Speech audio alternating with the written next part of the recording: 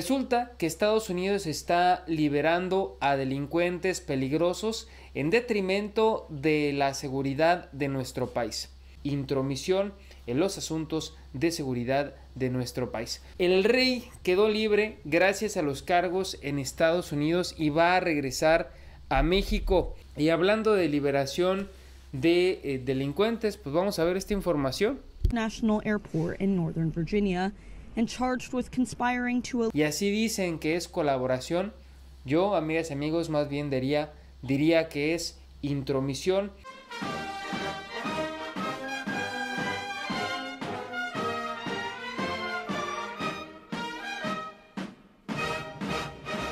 ¿Qué tal amigas y amigos? Gracias por sus likes, gracias por sus comentarios, por compartir nuestros videos. Es la forma en la que nos apoyan a llegar a cada vez más personas.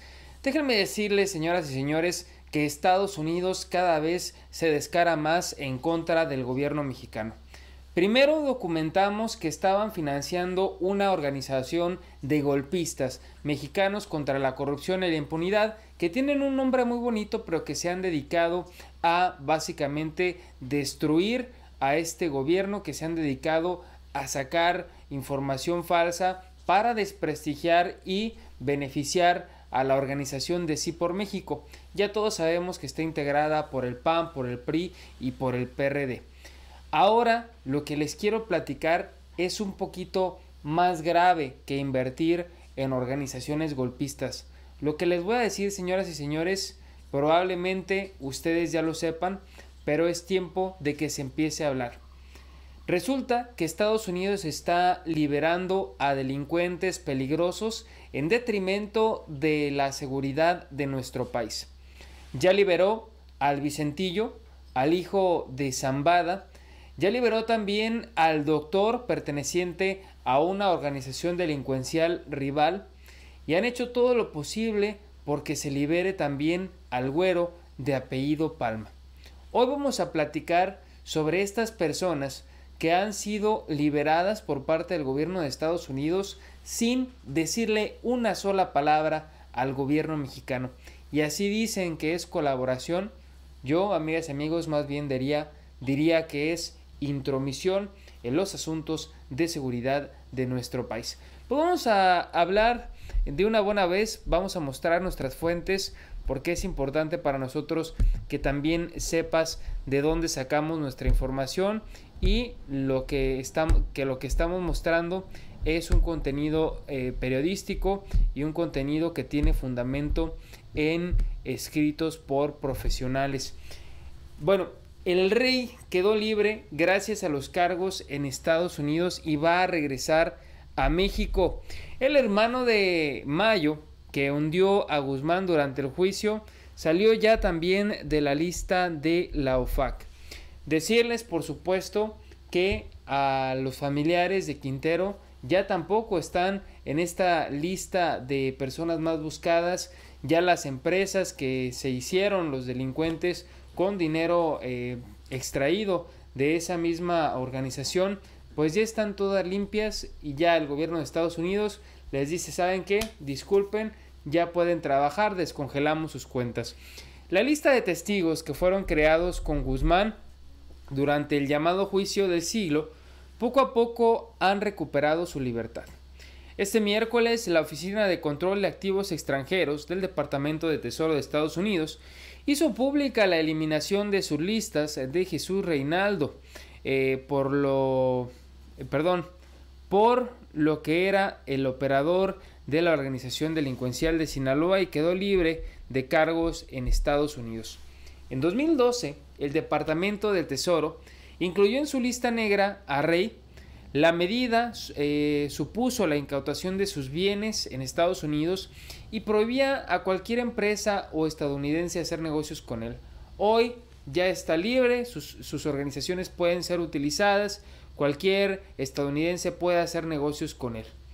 Jesús Reinaldo, de 60 años, desapareció, apenas testificó en contra de Guzmán Nadie quiso precisar dónde se encontraba, su padre se mantuvo en el anonimato gracias a los acuerdos con la Fiscalía estadounidense.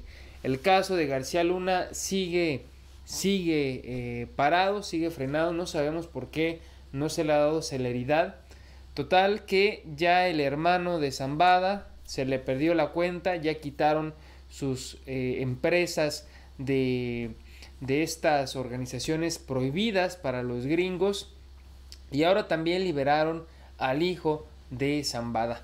Les decía que liberaron también al doctor en días recientes y bueno, lo malo es que no están no están dando la notificación a nuestro país. Por otro lado, pues Estados Unidos continúa su estrategia de invasión a nuestro país, de injerencia en nuestro país, en la política interna. Yo quiero que sepan, señoras y señores, que todo México y el mundo se entere que México tiene un presidente y que el presidente que está lo elegimos los mexicanos para que nos gobierne. No queremos que ningún gobierno extranjero venga a imponernos por quién vamos a votar. No queremos que ningún gobierno extranjero venga a dictar una agenda de lo que se tiene que hacer y de lo que no se tiene que hacer.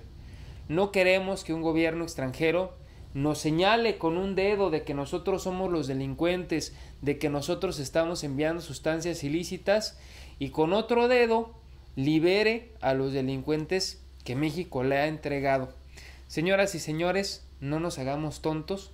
Estados Unidos quiere mantener el control de México, pero para eso tenemos mucho presidente que no lo va a permitir. Por cierto, el presidente Andrés Manuel López Obrador acaba de mandar una nota diplomática a Estados Unidos por estar financiando este organismo de Claudio X González con dinero, por supuesto, de los estadounidenses. Así que si tú vives en Estados Unidos y pagas impuestos, ahora sabes que tu dinero allá en Estados Unidos está terminando en manos de Claudio X González. Vamos a ir con esta información. Probablemente si viste mi video pasado ya lo sepas. Eh, la nota de México obliga a Estados Unidos a replantear la ayuda que da USAID. El gobierno de México envió una queja a Estados Unidos por el financiamiento de las organizaciones mexicanos contra la corrupción y artículo 19, ya que el presidente Andrés Manuel López Obrador consideró que se trata de un acto de intervencionismo que menoscaba nuestra soberanía. Y no era para más, señoras y señores, este organismo de mexicanos contra la corrupción se convirtió después en el portavoz de... se convirtió después en la organización de Claudio X González y fue la plataforma por la cual se pudo crear el órgano o la alianza de Sí por México, ya saben, integrada por el PAN, por el PRI, por el PRD, partidos con total con ideologías totalmente diferentes y hablando y hablando de liberación de eh, delincuentes, pues vamos a ver esta información. National Airport in Northern Virginia and charged with conspiring to illegally import and distribute heroin. No han dicho lo que, ha lo que va a pasar con la esposa de Guzmán. Lo que sí les puedo afirmar, señoras y señores, es que si testificó en contra de su esposo probablemente vaya a salir muy pronto, a menos de que eh, pues salga y le den otro nombre con otra identidad, como hicieron con los otros delincuentes que pusieron a un pez gordo, en este caso a Guzmán. Eh, también pues decirles que ya Estados Unidos va a replantear este intervencionismo que está realizando en contra de los mexicanos. Pero ¿quién es el donador de Claudio X González? ¿Quién es el mecenas de Va por México?